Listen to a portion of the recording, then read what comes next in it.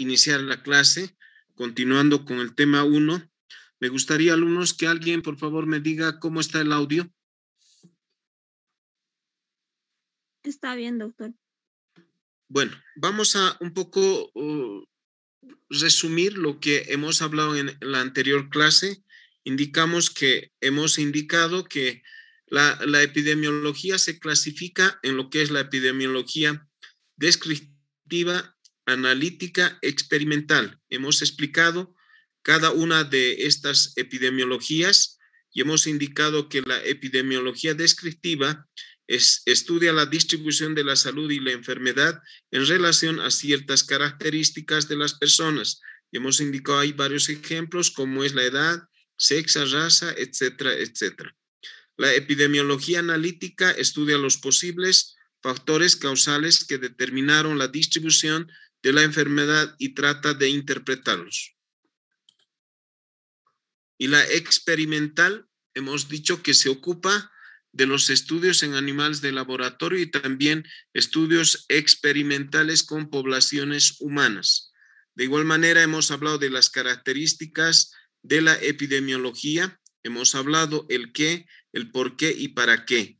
Y hemos resumido este cuadro y a partir de aquello hoy vamos a ingresar y vamos a ir ya a las bases conceptuales de la salud pública y vamos a hablar de diferentes conceptos y a partir de aquello, una vez concluido el tema, vamos a entrar a la epidemiología en sí para ya llevar los demás temas del plan analítico. Hoy nos vamos a ocupar de conocer dos conceptos importantes que son los conceptos de salud y los conceptos de enfermedad. Entonces, indicamos que la salud pública comprende al conjunto de actividades o es el conjunto de actividades organizadas de la comunidad dirigidas a la defensa, fomento y restauración de la salud de la población. Eso quiere decir que son diferentes actividades o conjunto que son de manera organizada en una comunidad, en un pueblo, en un distrito, en una zona, que son dirigidas a defender o fomentar o restaurar o la restauración de la salud de la población. Y se trata de esfuerzos organizados de la comunidad. ¿Para qué? Para incrementar y defender la salud de sus habitantes. Hemos hablado de una comunidad, de un distrito, de un pueblo, y esto para restaurar cuando se ha perdido. Ejemplo, si hay una contingencia menor o mayor y ocurre un proceso de una enfermedad en una comunidad, la comunidad se organiza a través de las estructuras sociales que tienen en las diferentes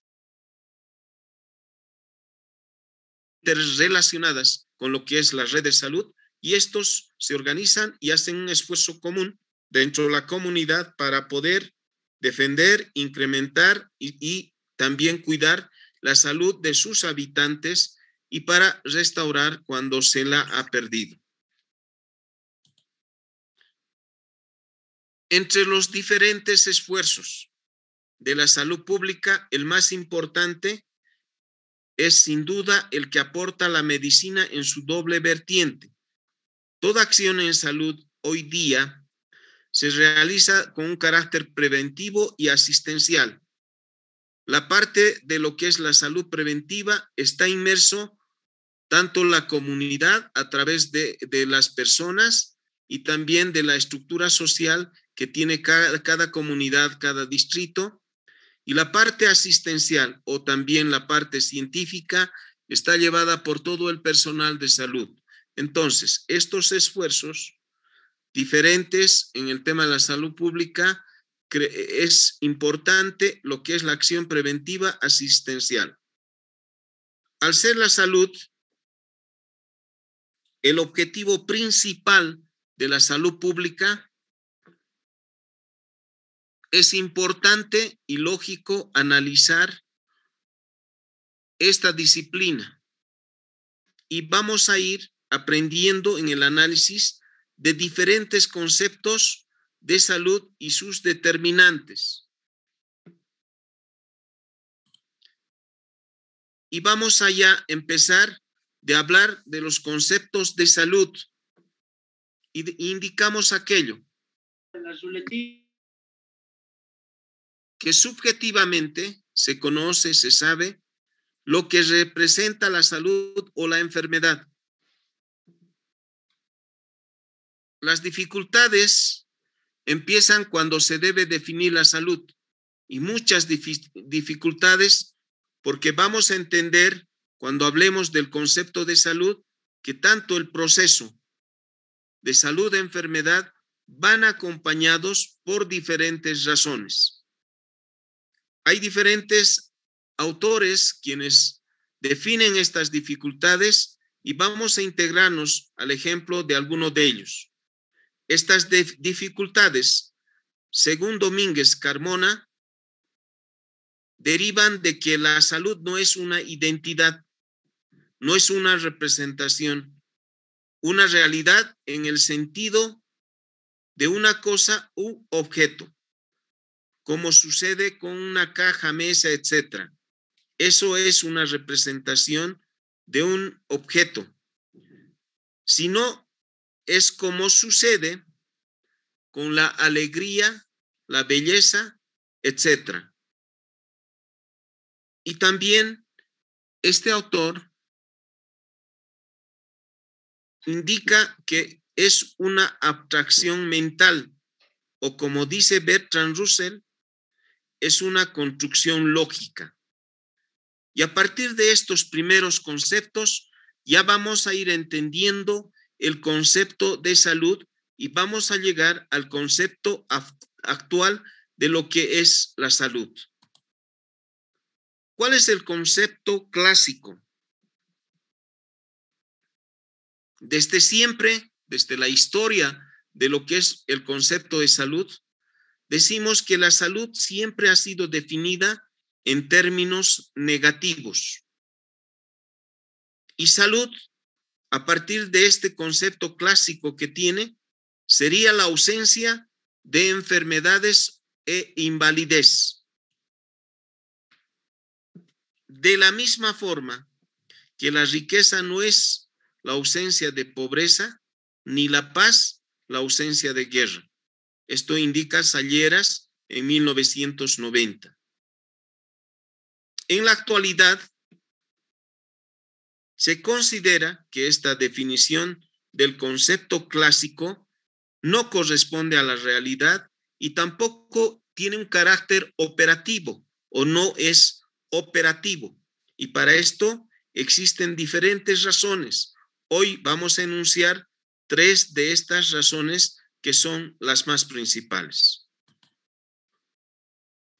Seguimos hablando el concepto clásico y hemos indicado que esta definición no corresponde a la realidad y no es operativa.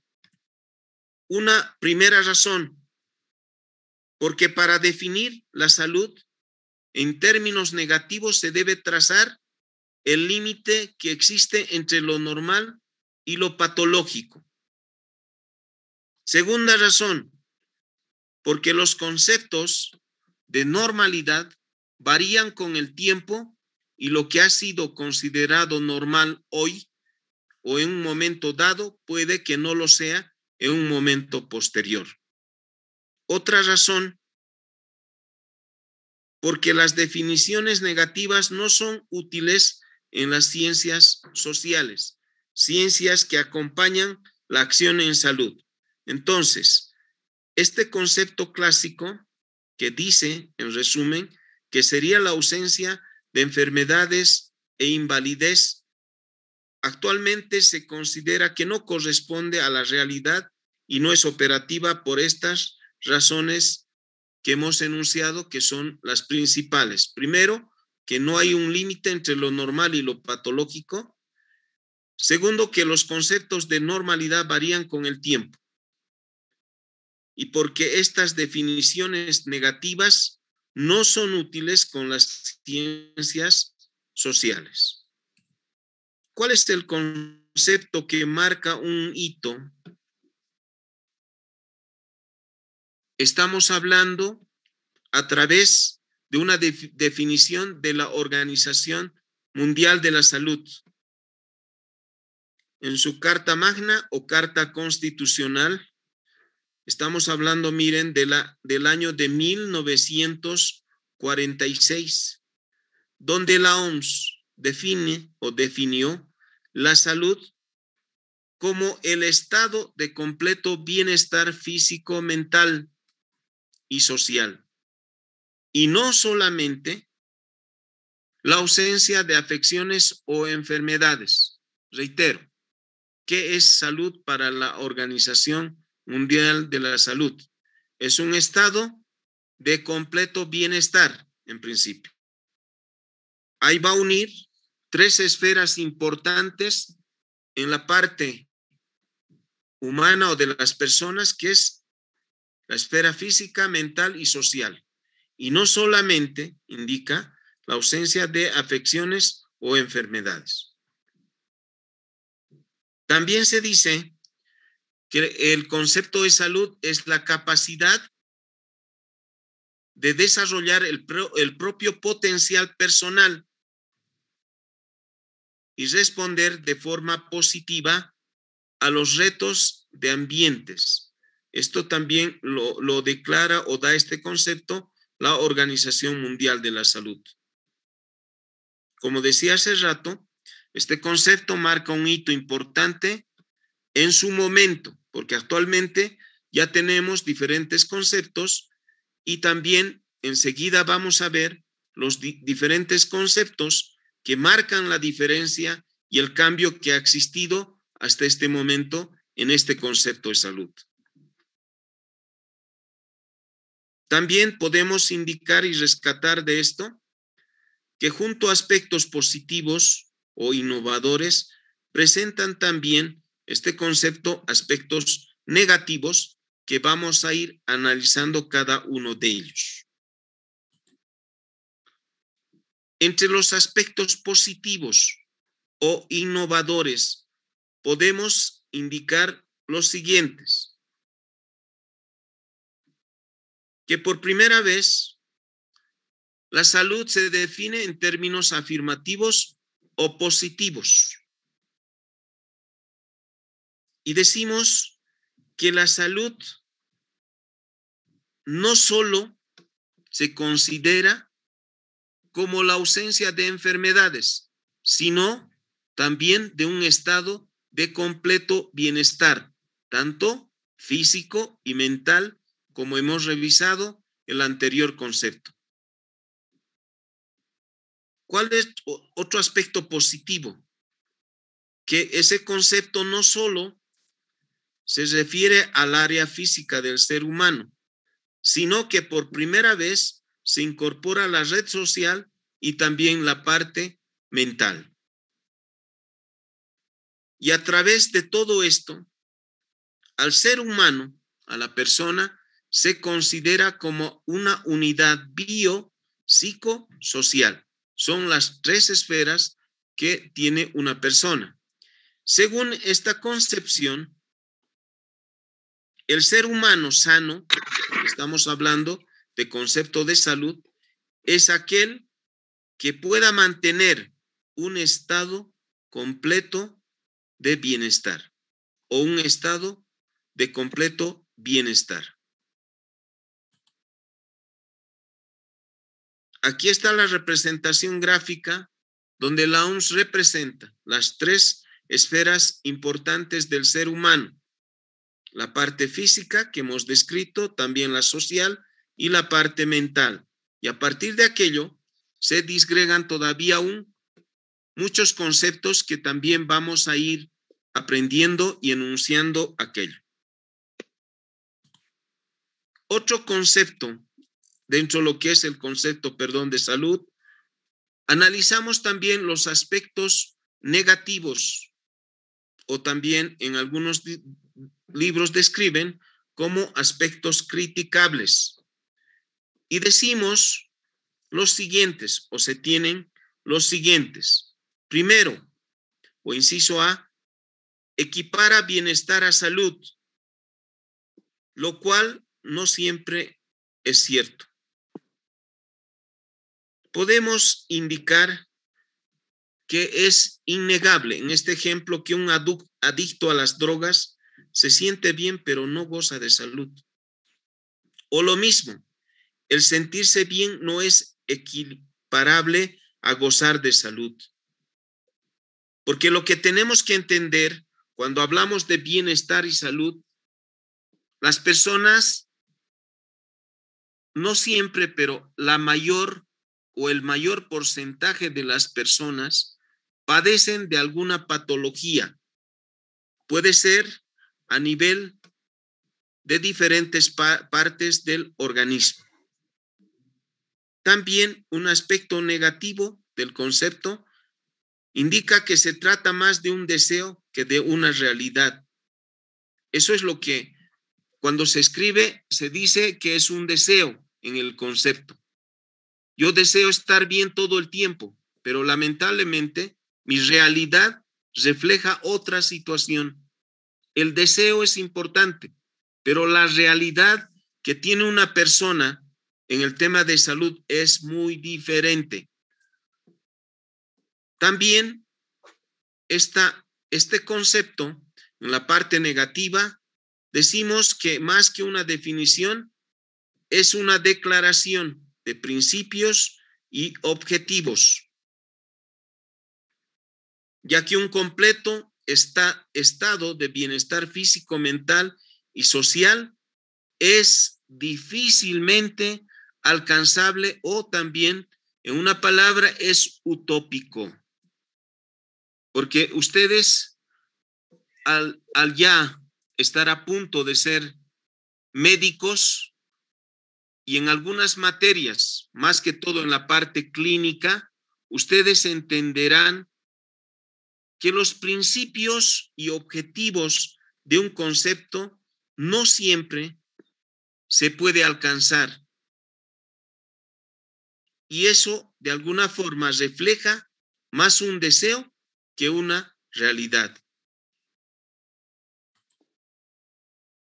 También en la parte, seguimos con la parte negativa del concepto, es una definición estática. ¿Por qué razón? Porque solo considera como, como, personas con salud, con las que gozan de un completo estado de bienestar físico, mental y social. La salud positiva es dinámica y no es estática y alcanza diferentes grados. Ya vamos a ver en los diferentes conceptos que toman también este alcance que se llama diferentes grados. La salud es un proceso continuo o proceso continuado y no es una situación. Hoy puedo estar de pronto en una condición de salud favorable y mañana puedo estar en una condición diferente porque hay antecedentes de la persona que han estado en una situación diferente una a otra. En el ejemplo de un proceso viral, como es la gripe, es una enfermedad estacionaria que de pronto tiene un periodo en el cual de alguna forma hay un periodo de incubación, en el cual de alguna forma posterior a este, a este periodo refleja ya una sintomatología diferente de una persona a otra. Entonces, tanto las definiciones de la Organización Mundial de la Salud y también un autor como es Terris incluyen el concepto de bienestar cuyos componentes son reunidos por expertos en 1961 por las Naciones Unidas. Estamos yendo poco a poco, alumnos, para llegar a los conceptos actuales de salud. Luego vamos a pasar a los conceptos de enfermedad. Milton Terris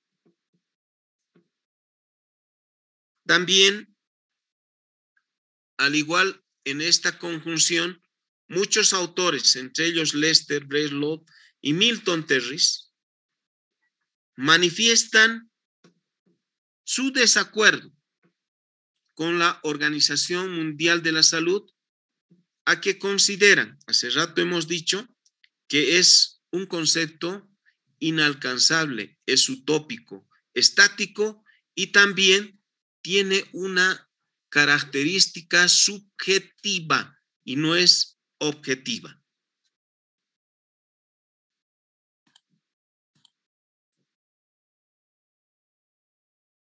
Según Terris, indica que deberíamos eliminar de ese concepto el término completo de, de, la definición. Y esto se reitera, que la salud, como la enfermedad, no es un absoluto.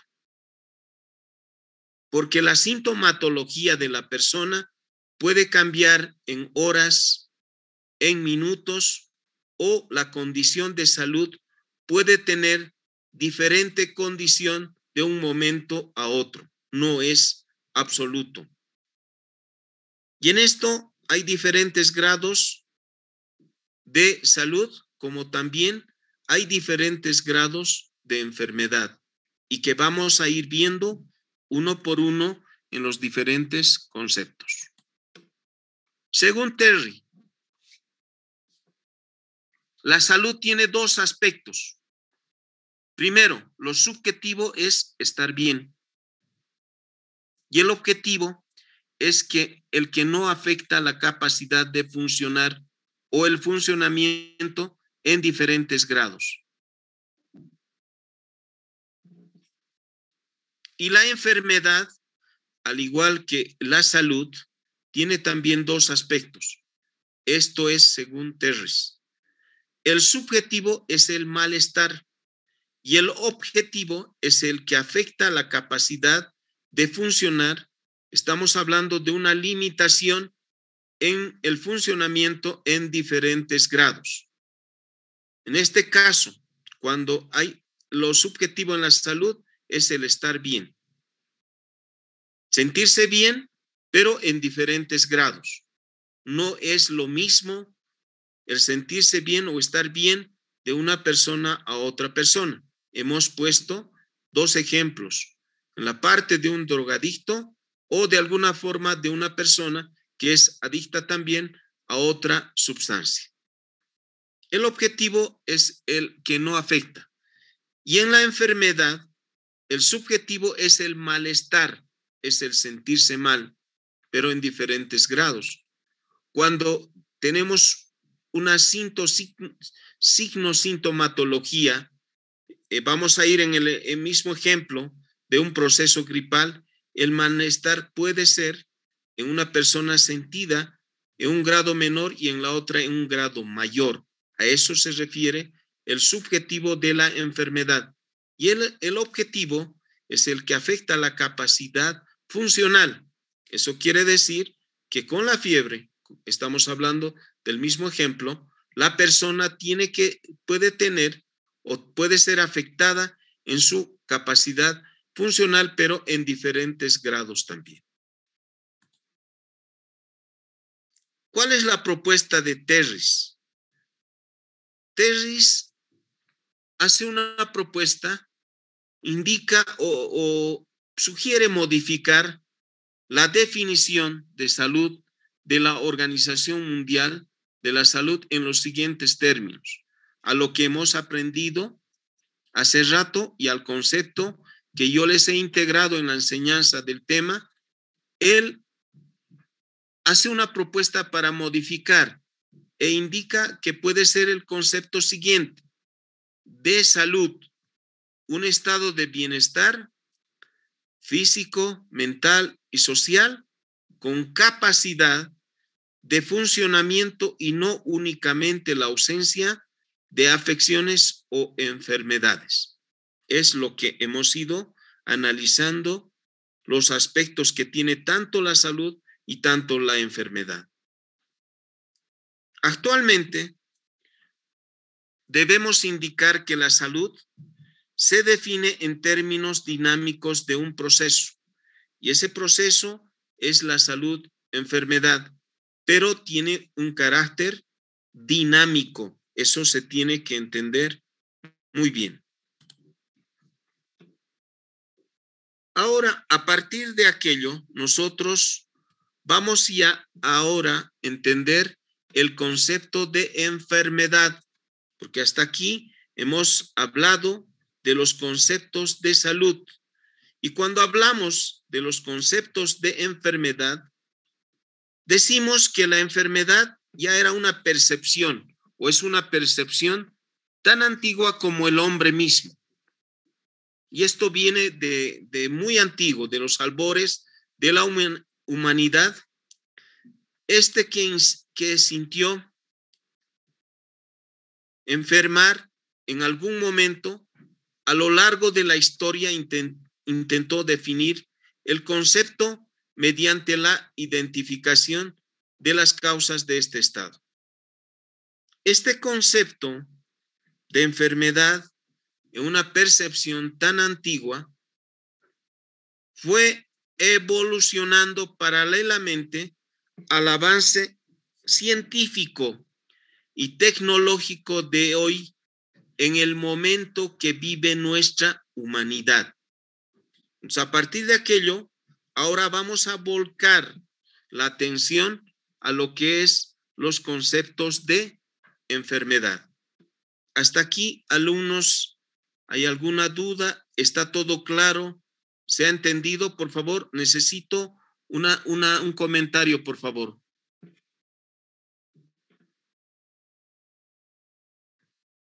A ver, eh, Guanaco, o por favor, un comentario. Eh, está bien, doctor, todo. Se entendió muy claro sobre el concepto de lo que es la enfermedad. Y... Concepto de salud.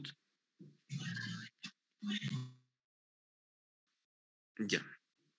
A ver, otra participación. A ver, Giselle, Janco.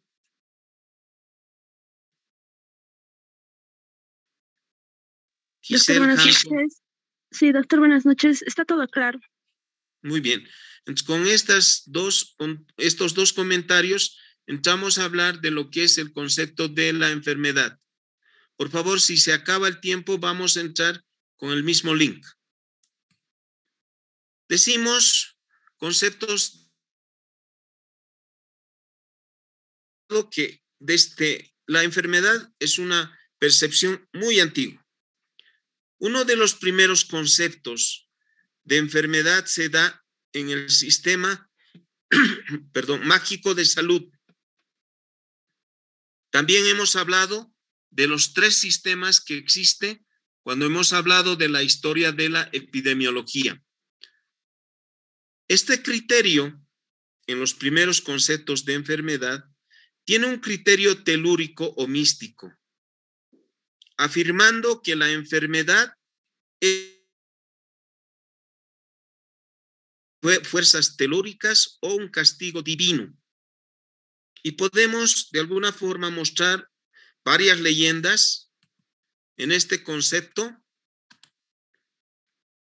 Y decimos una leyenda importante que está en la literatura de la salud pública, de la epidemiología, y es la leyenda troyana. Como ejemplo para entender los primeros conceptos de la enfermedad que se da en el sistema mágico de salud. Esos dioses existe, exigen perdón, una compensación humana. En la leyenda troyana, Ifigenia, hija del rey Agamenón, es sacrificada por su propio padre para conseguir el perdón de la diosa Artemisa. Entonces tenemos que entender que en, los conceptos anteriores decían en lo que es el sistema de salud que las enfermedades telúricas o un concepto divino. Desde la mitología griega que todos conocemos, Esculapio, que es el dios de la medicina, y Gea representa la salud, y la panacea, que es igual a la curación. A partir de eso, podemos decir en los conceptos de enfermedad que en los siglos 4 y 5 antes de Cristo, ya Diógenes, Pitágoras y Alemeón ya plantean de salud, enfermedad, pero a través de diferentes teorías que existen descritas en la bibliografía que respalda. Aquí vamos a indicar que plantearon una dinámica del proceso de salud, enfermedad a través de la teoría de la isonomía o también el equilibrio de los elementos de la naturaleza y aquí enunciamos como el juego, el aire, el agua y la tierra. La tierra, el agua, el aire y de alguna forma el fuego. Y la isonomía, esta teoría, es el principio que, de que todas las personas se rigen con las mismas reglas que la condición importante. O sea, las reglas tienen que tener una condición de igualdad todas las personas. Hipócrates. Seguimos en todos los antecedentes de la historia del concepto de la enfermedad. 460 años antes de Cristo, incorpora el uso del análisis racional y dice o enseña que el conocimiento de la enfermedad observación y control de la misma. Y este concepto hoy día es muy claro en el carácter clínico que tenemos nosotros día a día en lo que es la atención de los pacientes, que la enfermedad se conseguirá mediante la observación del paciente y a partir de esa observación tiene que haber un control de la misma con diferentes conductas de acuerdo a la patología de la persona. Wislop y Winston, esto habla mucho de la patología celular. En la parte de histología, citología y también otras materias que ustedes han llevado, se tiene entendido que ya se desvirtúa a través de esto lo que es la teoría humoral. Para que luego en el siglo XIX, esto es complementario al conocimiento, el concepto, de enfermedad, primero Bernard y luego Koch, Pasteur y otros identificaron de la enfermedad, crean las o sus teorías etiopatogénicas. Y estas teorías que estamos hablando, miren cuánto antes, tienden a ubicar a la enfermedad en la célula, lo que en la actualidad no es, no es del todo exacto, no es del todo cierto. Porque se demostró que en el ser humano, al ser esta persona o el ser humano pluricelular, la lesión en algunas células